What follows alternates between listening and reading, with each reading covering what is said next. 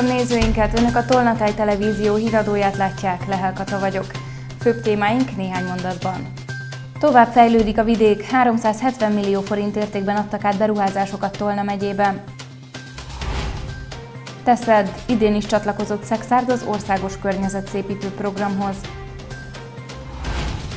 Rendőrségi lövészverseny, 52 egyenruhás mérte össze tudását Szászváron.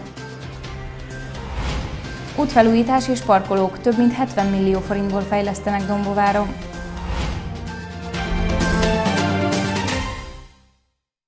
Közel 370 millió forint értékben adtak át beruházásokat Tolna megye három településén szerdán. Potápi Árpád János nemzetpolitikáért felelős államtitkár Tolna megye kettes számú választókerületének országgyűlési képviselője is részt vett az eseményeken, aki elmondta, örül, hogy a kormány támogatásával ilyen rohamos fejlődésnek indult a vidék. A projekt keretein belül járdákat és bicikliutakat létesítettek, óvodákat és iskolákat újítottak fel.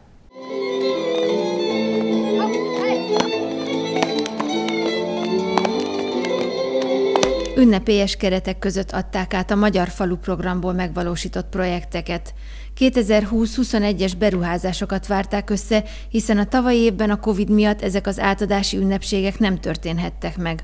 A pályázat jóvoltából egy régóta üresen álló épületet újítottak fel, és alakították ki benne Kalaznó község helytörténeti múzeumát. Ekkor jött ez az ötlet, hogy a Fejlődő Kalaznóért Egyesületnek egy gyűjtött, nagyon komoly gyűjtött anyagát, ami itt belül helyezkedik el a falu történetéről, fejlődéséről, a régi életről, társadalmi, kulturális életéről szólt, az kapott itt helyet. Az ünnepélyes átadó után a falu lakói műsorral készültek.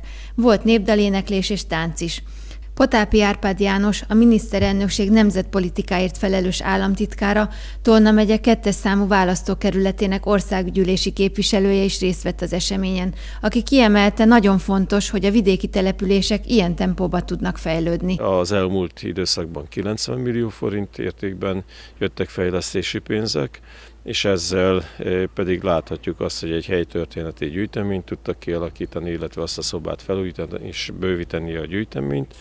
Ezen kívül pedig járdát építettek, és egy 1066 méter hosszú kerékpárutat alakítottak ki itt a településen. A nap során Tolna megyében nem csak Kalaznon adtak át fejlesztéseket, Szakadáton 79 millió forintos, míg Kakasdon 200 millió forintos beruházásokat adtak át. 1141 új megbetegedést igazoltak szerdán, ezzel a járvány kezdete óta összesen 831.866 főre nőtt a beazonosított fertőzöttek száma. Elhunyt 11 többségében idős krónikus beteg, így az áldozatok száma 30.341 főre emelkedett. 742 koronavírusos beteget ápolnak kórházban, közülük 113-an vannak lélegeztetőgépen. Oltást eddig már 5 millió 917 ezren kaptak. Tolna megyében 11 új fertőzöttet regisztráltak szerdán, így a járvány kezdete óta összesen 17.987-en kapták el a koronavírust az országnak ezen a részén. Idén is csatlakozik Szexárda Teszed nevű országos környezetszépítő programhoz. A Tolnai megyeszékhelyen hétfőtől kezdve egy héten át várják azokat, akik tevékenyen járulnának hozzá Szexárd megszépítéséhez.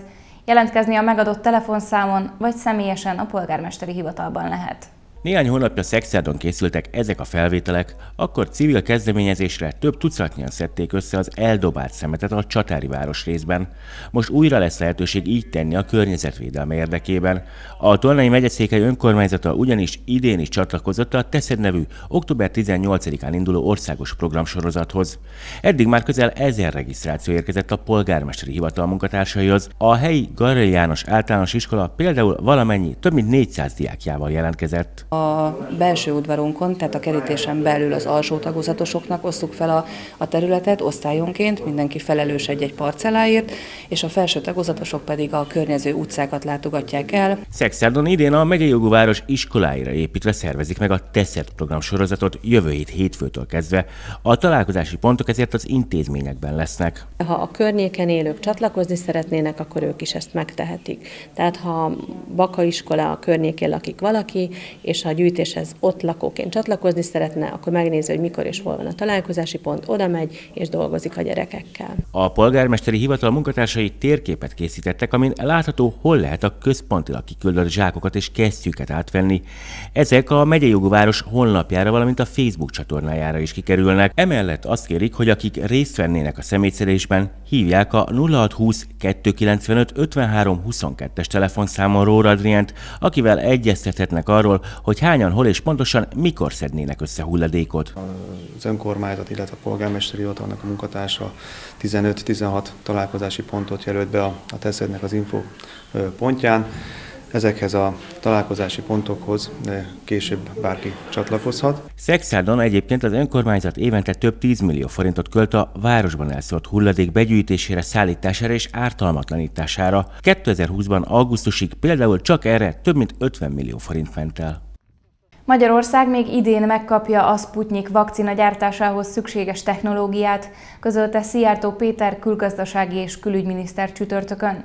Kiemelte, hogy az orosz vakcinára világszerte nagy a kereslet, így Magyarországnak komoly gazdasági érdeke fűződik ahhoz, hogy kivegye a részét a készítmény gyártásából, és ezáltal a globális piacra lépéséből. Közölte, hogy november végére összehívták a Magyar-Orosz Gazdasági Vegyes Bizottság ülését, és ott tisztázzák majd a Sputnik magyarországi gyártásának részleteit is.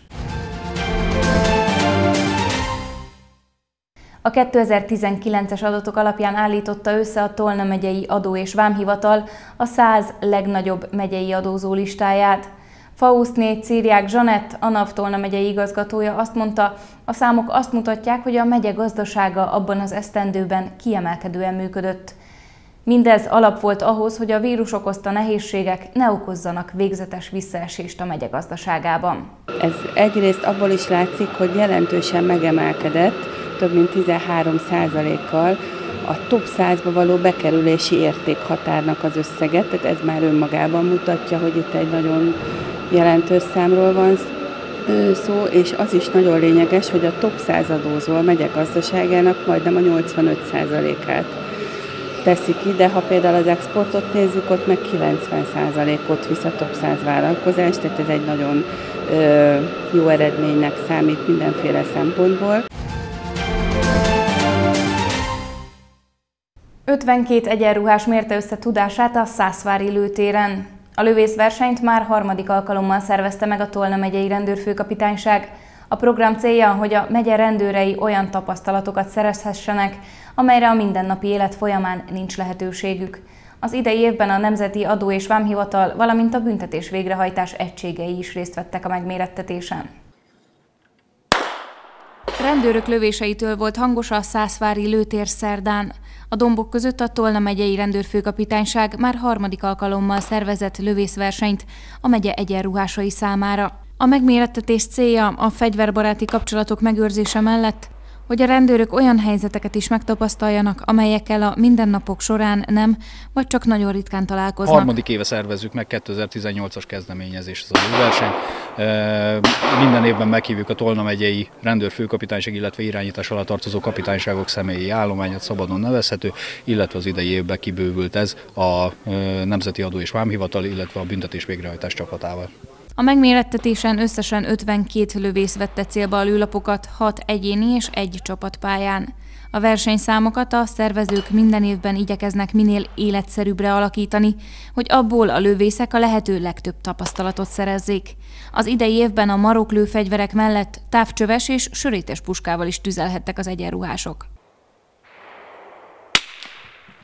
A lövészeten versenybíróként részt vett a már háromszoros magyar bajnok Ördög Attila rendőrfőhadnagy, aki elmondta, igyekeznek a hazánkban még kevésbé elterjedt gyorsasági fémcéllövészetet minél több emberrel megismertetni. Nyolc nemzetközileg kötött pályája van, ez egy amerikai szabályrendszer szerinti lövészsport, és ezt a, a nyolc pályát lőjük az adott versenyeken, és értelemszerűen a, a nyolc pálya leggyorsabb lőideje fogja nyerni a versenyt. A Tolna megyei rendőrfőkapitányság a következő évben is megszervezi a már lassan hagyományá váló versenyt. Migránsokkal teli személyautót állítottak meg a Tolna megyei rendőrök az M9-es autóúton Bogyiszló térségében. A román rendszámú jármű ellenőrzése során 8 illegális migráns találtak az egyenruhások.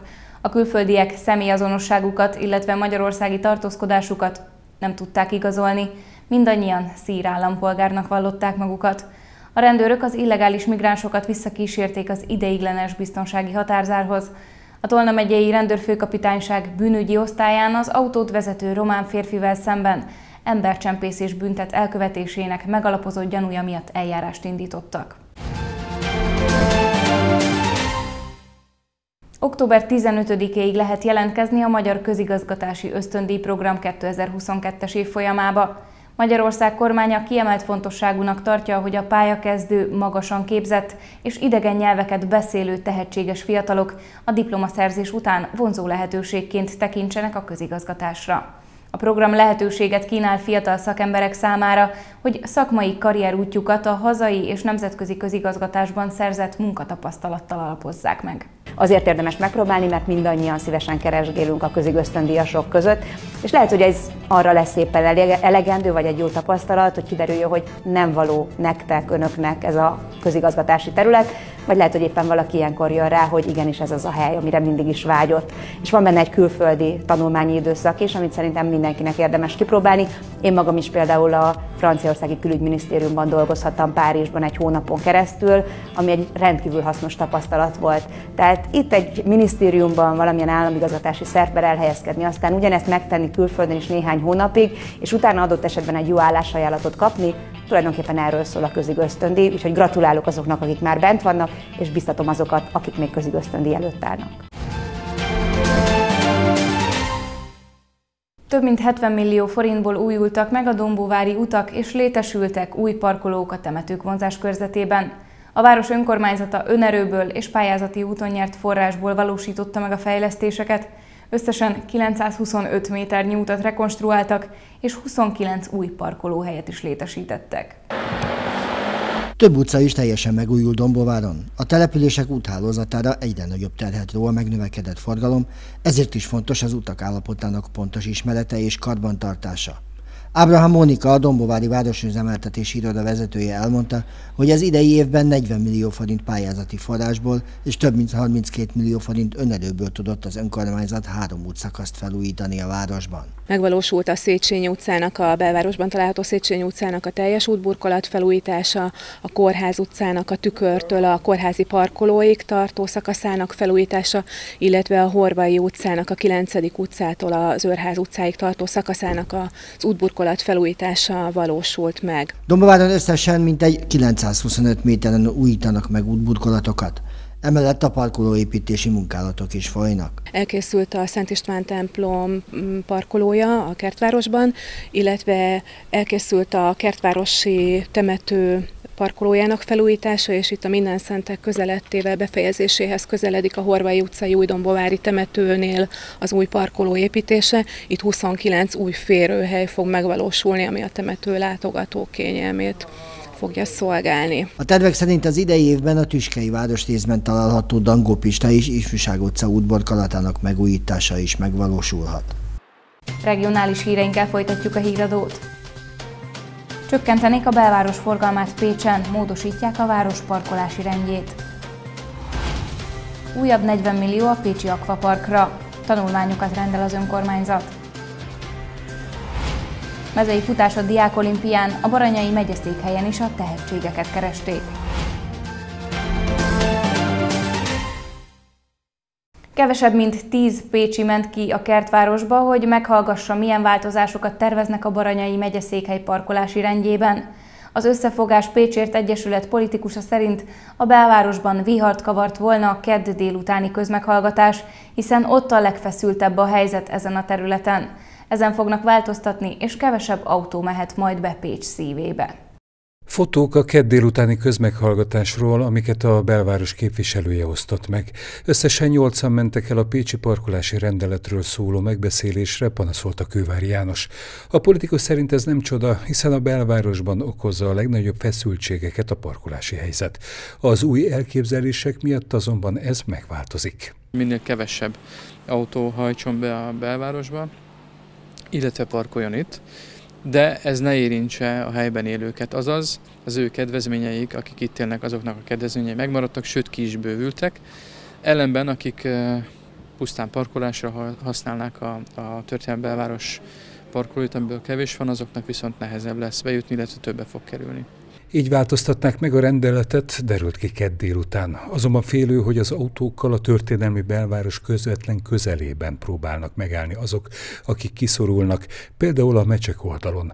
De erre is lesz megoldás a képviselő szerint. Ezeken a helyeken, ott pedig az volt a lakóknak a kérése, e, és ezt is igyekeztem képviselni, hogy e, segítsük őket abba, hogy ne oda tolódjon föl most innen a parkolás. Ezért korlátozott várakozási jövezetek eh, lesznek a belváros körül, ami azt jelenti, hogy ott lehet ugyan parkolni, kettő órát lehet parkolni, és utána el kell majd hagyni a helyet. Nyilván erre azért van szükség, mert az ott lakókat sem terhelhetjük azzal, hogy a belvárosi forgalom oda jön. A végleges megoldás azonban új parkolók létesítése lenne Kővári János szerint, illetve parkolóházak építése, ami tehermentesíthetné a Pécsi belvárost. A parkolási rendszer módosításáról még ebben az évben dönthet a Pécsi közgyűlés. Újabb tanulmányokat rendel a Pécsi önkormányzat 40 millió forintért a Baranyai megyeszékhelyre tervezett akvaparkhoz, mondta stábunknak a gazdasági bizottság Fideszes tagja. Barkóci Csaba szerint ez ablakon kidobott pénz nem szolgálja az ott élőket. A fürdő megvalósítását bizonytalanságok veszik körül, ráadásul a fenntartását sem tudja majd biztosítani a pécsi költségvetés a politikus szerint. A tanulmányok elkészítése csak az azt végzőknek hoz hasznot. Ezek a korábbi felvételek tüskés réten készültek, ide képzelte el a Pécsi Akvaparkot az ÖPE akkor. Jelenleg bizonytalan a fürdő helyszíne fenntarthatósága, illetve a beruházás finanszírozása, mégis most kedden került a Városgazdasági Bizottsága elé újabb fürdő tanulmányok terve, amit elfogadtak, mondta stábunknak a bizottság tagja.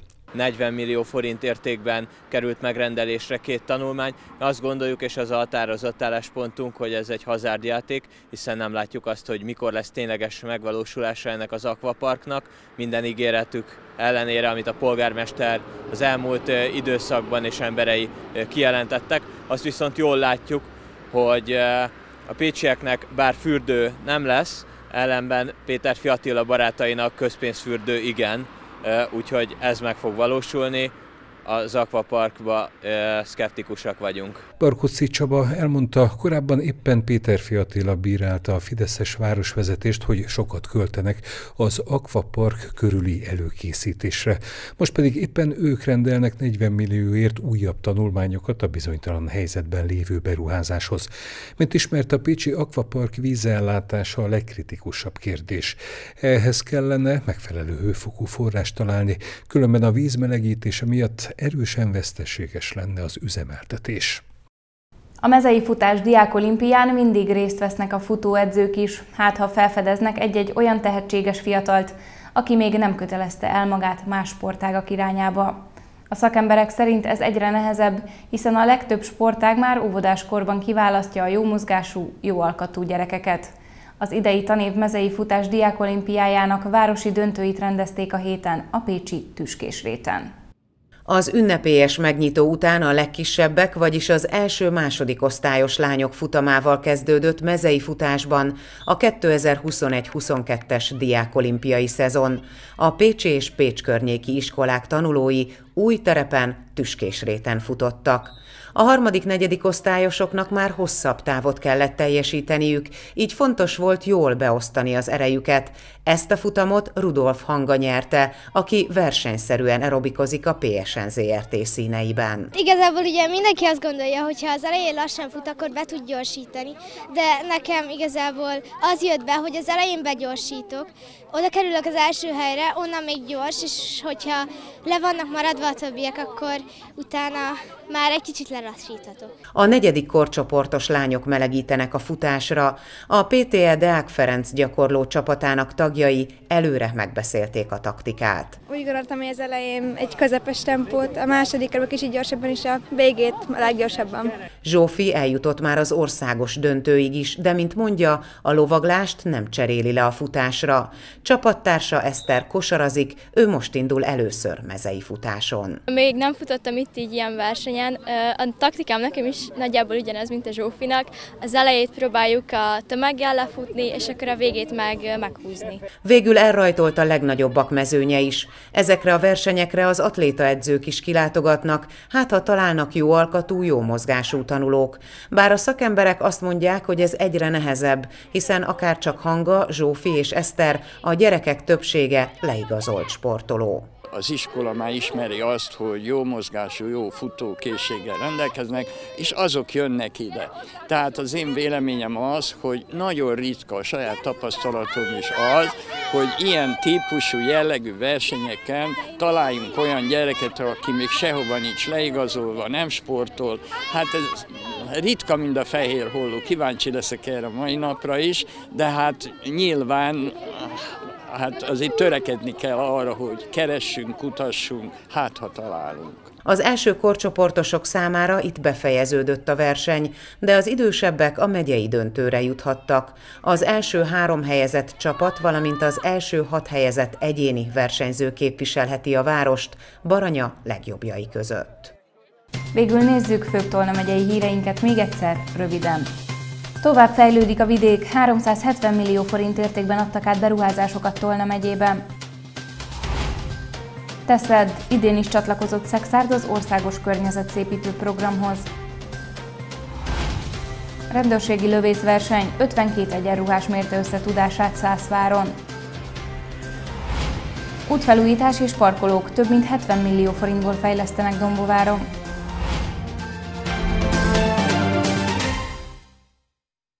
Pénteken a reggeli párásság kötfoltok ritkulását követően döntően napos, száraz idő alakul ki. Helyenként azonban tartósabban megmaradhat a párásságból kialakuló rétegfelhőzet, esetleg makacsabb kötfoltok is előfordulhatnak. Gyenge változó irányú marad a légmozgás, éjszaka befelhősödik az ég, de csapadék nem valószínű. Friss hírekkel legközelebb pénteken este jelentkezünk.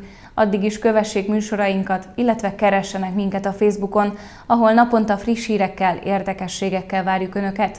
Ha látnak valamit, ami Önök szerint figyelemre méltó, akkor azt osszák meg velünk, hogy másoknak is megmutathassuk. Mára köszönöm figyelmüket, viszontlátásra!